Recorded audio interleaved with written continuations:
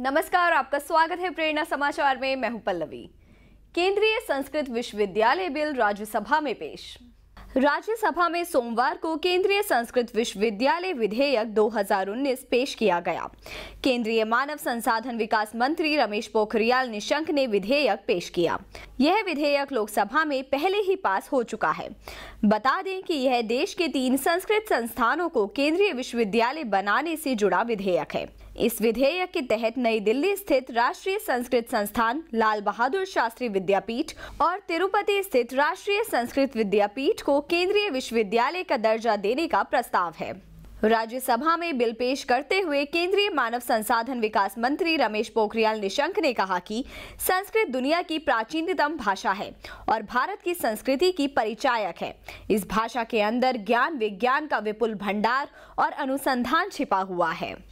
अयोध्या में 25 मार्च से नए स्थान पर होंगे रामलला के दर्शन। आगामी 25 मार्च यानी चैत्र नवरात्र के पहले दिन से अयोध्या स्थित नए स्थान पर रामलला के दर्शन होंगे।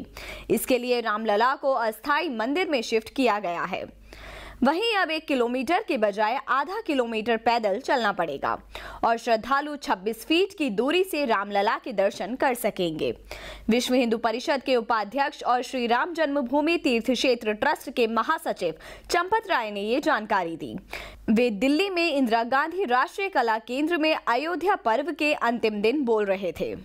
श्री श्री रविशंकर ने कहा कि देश में फैले निराशावादी वातावरण को योग ही कर सकता है, ठीक। आध्यात्मिक गुरु श्री श्री रविशंकर ने कहा कि उत्तराखंड योग की भूमि है, जहाँ प्रत्येक योगी अपना घर बना सकता है। आज पूरे विश्व में निराशावादी वातावरण बन रहा है, जिसे योग ही बेहतर बना सकता है। ऋषिकेश में अंतर्राष्ट्रीय योग महोत्सव में श्री श्री रविशंकर ने कहा कि पूरे विश्व में जो निराशावादी वातावरण बन रहा है, उसे बेहतर बनाने में योग ही उपयोगी सिद्ध हो सकता है। उन्होंने कहा कि योग हमें अंतरात्मा के दर्शन कराता है और हमें प्रकृति से जोड़ने का काम करता है। जो व्यक्ति योग को अपने जीवन में धारण कर लेता है, उसके चेहरे पर कभी शिकन नहीं आती। बड़ी बड़ी चुनौतियों को भी वह मुस्कुराते हुए पार कर जाता है। और अब बारी तीन मार्च के इतिहास की।